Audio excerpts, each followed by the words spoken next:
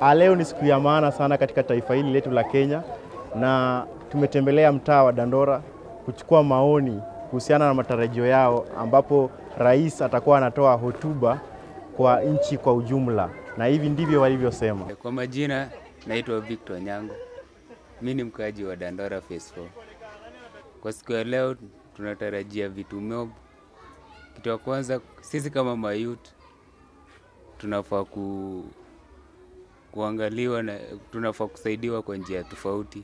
Mazee jo bizna iko chini, anafaa kuangalia ekonomi yetu venye iko, na tena pia kibiashara iko down, tunafaa kuangaliwa vizuri, tunafaa kufanyiwa marketing pia, hiyo iko sawa. Nikiwa Esther, ningependelea rais akiongea ongee mambo ya uchumi. Uchumi iko juu sana. Jina naitwa Kennedy na natarajia leo pande yetu sisi- kama vijana plus wale wamama wenye wako ground hii ground yetu hapa Dandora tuko low sana upande ya kazi, alafu budget pia imepanda kabisa. Jo, saizi sukari jo, tafadhali hapo naomba tu. Prezo, saa zile utakuwa na bonga. Bonga juu ya hayo, budget iko juu jo, na tuna job, tunaumia mbaya sana eh. Manyumba pia zimepanda rent jo eh.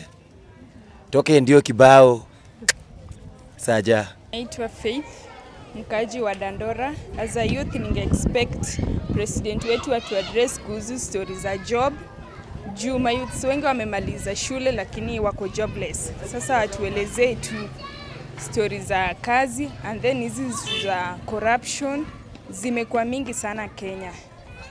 Kama hauna pesa huwezi pata job. Eh, Sasa at least atuelezee ni aje watu wa form 4s wenye wamemaliza graduates watapataje kazi Kenya. Naam, kulingana na maoni ambayo nimepata ku, kwa wakazi wa Dandora, wengi wao wanatarajia kuwa rais atazungumzia kuhusu uchumi na kufungua nafasi za ajira katika nchi yetu. Nikiripotia 36 TV Dandora, mimi ni Elias Moi.